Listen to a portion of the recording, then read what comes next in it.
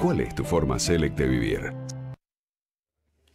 Señor Roberto Rossellini, llévenos a otra dimensión, momento whisky, con Carola Gil. ¿Cómo andás, Carola? Y Daniel Vilota, que nos Y Daniel Vilota, que otra vez No le pedimos el sacrificio Soy una compañía Sí. espiritual en este momento. de que nos acompañara. Gracias, Daniel. Yo sé que es un También. esfuerzo para vos.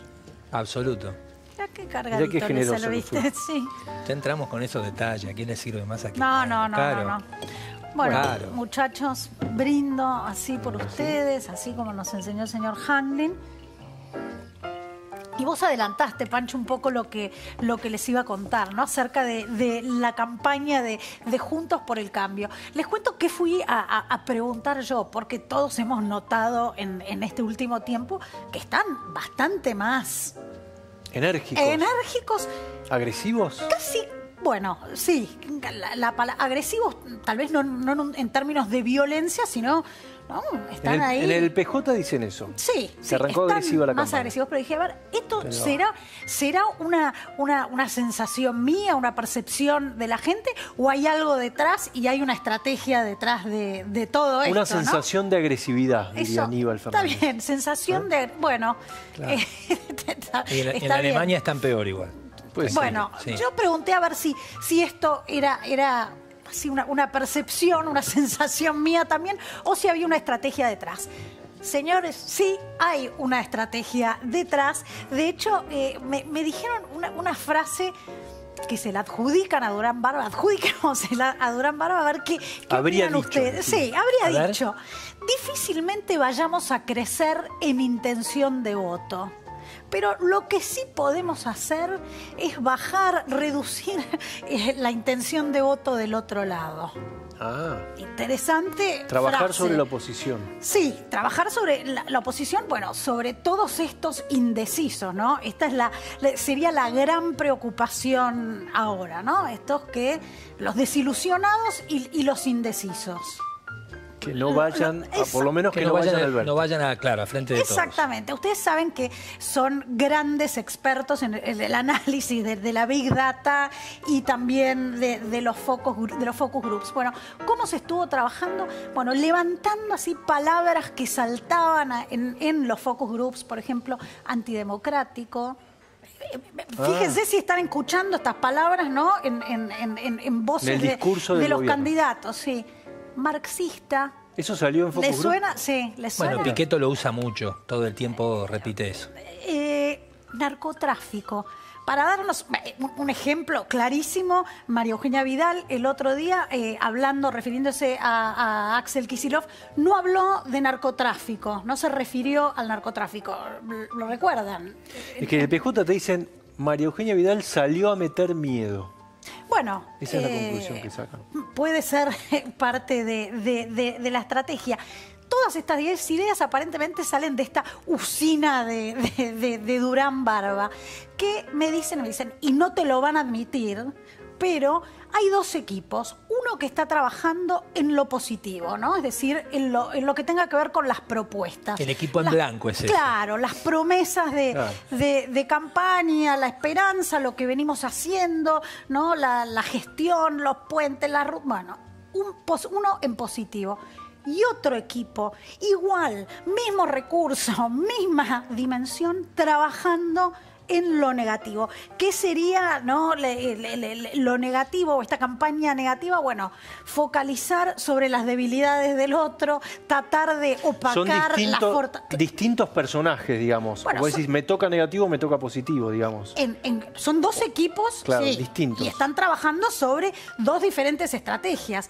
Si hay algo que, que- que se les reconoce es esta, esta cintura para de una semana a otra poder ir cambiando. Fíjense que tiran temas que ponen sobre la mesa, no funcionan y ya la próxima estamos marchando sobre, sobre otra propuesta, ¿no? Entonces tenés estos dos equipos que están trabajando en forma permanente sobre lo positivo y, y lo negativo. Pero tengo también un poco de, de- de información acerca de capital. Territorio Horacio Rodríguez Larreta, ¿no? Eh, ahí también eh, están más eh, agresivos que nunca en la conquista de los indecisos. En algunos casos, y este es el nivel de información que manejan, los tienen identificados con nombre y apellido. Ah, bueno, eso es demasiado. Sí, sí, y con- que te llaman y te dicen guarda con lo que vas a hacer. Te sorprendería. No, no, no, no, no, no, no dije. Te da un poquito de vértigo, ¿no? Sí, ¿no? Que aparezca, Nombre por ejemplo, apellido. Horacio Rodríguez Larreta, un WhatsApp. Hola. Carola. ¿no? Viste que antes te llamaba, hola, soy Horacio Rodríguez Larreta. Ahora te dice, hola, Carola. ¿Eh? Por manzana. Bueno, tienen, tienen eh, identificados 300.000 indecisos. Cien- ¿300.000 sí, indecisos? 180 Vos pensás, pensá una Sí, cosa. Carola. Eh, Macri le ¿Puedo dar un gana a Scioli en el balotaje Sí. por 600.000 votos, Mm. que tratándose de un balotaje, si se dan vueltas, son 300.000. Con lo cual, esos Claro. 300.000 indecisos pueden ser la llave de un triunfo o una derrota. De estos 300.000, perdón, ahora, No, no, ahora te digo, problema. calculan que 180.000 son desilusionados macristas, es decir, gente que votó en su momento a Horacio Rodríguez Larreta y ahora pasó a ser indeciso. Sí tienen detectado que tienen un fuerte componente antikirchnerista. Entonces, ¿a dónde van? Bueno, por ahí, ¿no? A, que la indecisión vuelva a, convertirse en un voto macrista. Y, y co- con esto te cierro eh, lo, de, lo de la campaña. Eh, era algo que me pareció importante de, de lo que me comentaron, es esta necesidad de, de apurar, de apurar. Esto ya no, no hay tiempo, no hay tiempo, son dos las opciones ya, blanco o negro, blanco. No darle No esta dar tiempo opor- de pensar. Sí, Exactamente, además- dos, Pancho dos, blanco, negro. Tenés que decidirte, viste como la zafata, chicken or beef, chicken or beef. Vos sabés que Si no eh, pedís, Marcos te Peña sin decía comer. eso, que no había que darle mucho tiempo al electorado de asimilar, y por eso decía que lo de Alberto Fernández había sido un error porque lo habían anunciado como un mes y medio no, o más. ¿sabes? Con mucha ex- excesiva antes, claro. anticipación, como, como para Un que se tema mastique. Sí, un tema dale. importante con Rodríguez Larreta es que me parece que esta vez quiere romper la tendencia y ganar en primera vuelta. Eso supone sacar más del 50% de los votos y me parece que están trabajando en ese sentido. Sobre eso. Pero es mucho, más del, más del 50% de los votos. Sí, bueno, es una pero están. barbaridad. hagan de cuenta que no lo dije yo, total acá no se va a enterar nadie. Me parece que están convencidos que Gente llegan. tomando. Ellos creen que llegan. Ellos creen que llegan y tienen algunos sondeos donde les parece que pueden llegar. Bueno, Capital es un 8% más o menos del padrón. Lo cual también ayuda muchísimo a Macri en su objetivo de ser reelecto, ¿verdad? Claro, claro. Podemos pasar ahora al, al- no, no al otro lado, sino al, al- lado humanizado Muy de bien, los sí, candidatos, Sí, claro. los perritos. Ah, ese, Los perritos. ese te bueno, gusta a vos. te- sí, sí, sí, sí, sí. te Bueno, enternece. sí, el- el- el- nunca he hecho aparte, ¿viste? Eso, ¿viste? En publicidad dicen que si querés ir a lo fácil y a conquistar, Ah, mirá. cachorros, perritos y bebés, ¿viste? Ah, sí, ahí con eso ya está, sí, sí. Es como la música de Whitney Houston en el video de egresados, digamos. No, carrozas de fuego. Ahí sí es, es como, ahí es un hit. Bueno, tenemos, lo tenemos a Dylan.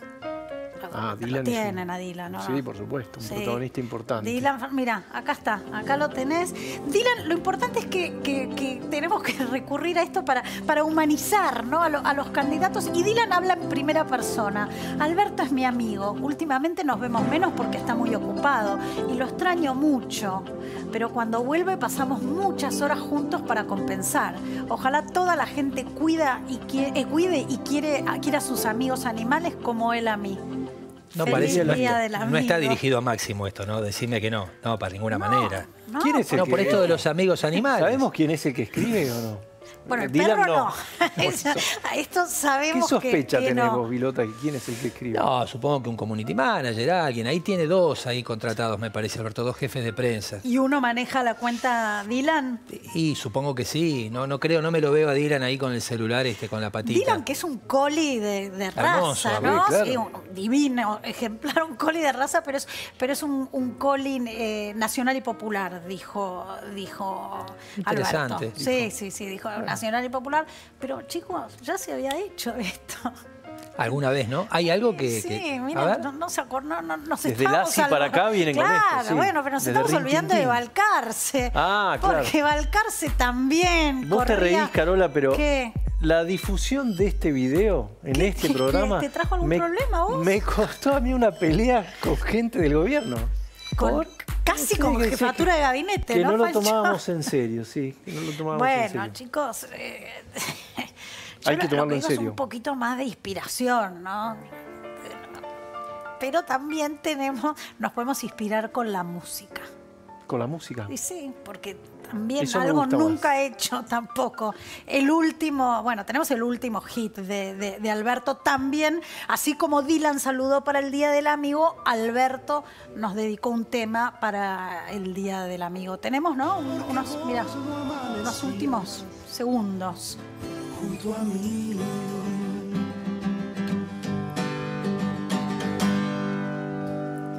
Mi sonora solo se trata de vivir. El final, ¿no? Eso sí. ¿Cómo era? Solo se Solo se trata, dicen Sí, que viajando se fortalece. pero afina, ¿no? Sí, sí, sí. Los, los- los agudos le costaban un, un- un poquito más, sí. Bueno, pero afina. Toca la guitarra desde que tiene 10 años, Alberto. ¿Y saben quién fue su profesor de guitarra? No. Lito Nevia. Ah, bueno. Sí, no, tuvo grandes profesores. Tema de, de su autoría. A mí me sor... Cuando lo escuché dije, no, esto debe ser de algún lado. Y no, me puso a- Lo compuso él. Lo compuso él, sí, sí, sí. Tiene varios temas compuestos por él. Él es Cinco un por admirador de Lito. Nevia, ¿eh? ¿Es un un admirador? de Lito Nevia, sí. Fíjate Bueno. que también tiene, ahora Sí, hablando en serio, no sí, solamente la estructura, sino la voz, tiene algo de Lito. Sí, sí, sí, claramente. Algo tampoco hecho anteriormente. Tenemos algunos otros más para, para ver, porque, a ver, pónganme cualquiera. Sí, A sí, ver. no, no. Políticos cantando, políticos que han Ah. agarrado la guitarra. Tenemos, por ejemplo, hasta, hasta no sé, Gaby Michetti. Yo, ¿Toca la guitarra? Sí. ¿La tenemos a Gaby? No sabía. A ver. Tiene voz de mezzo Sí, mira, contralto. mira. Dame tu corazón, dame tiempo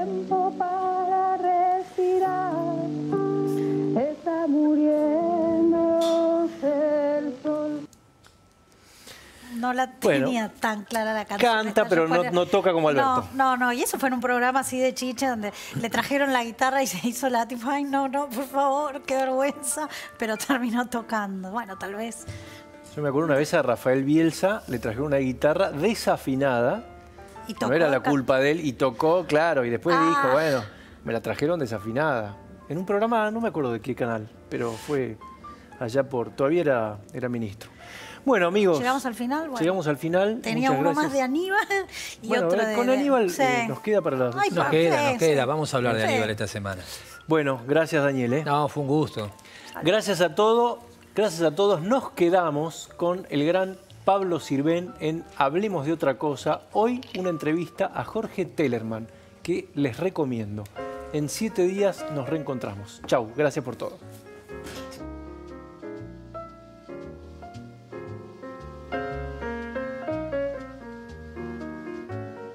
Viví Select.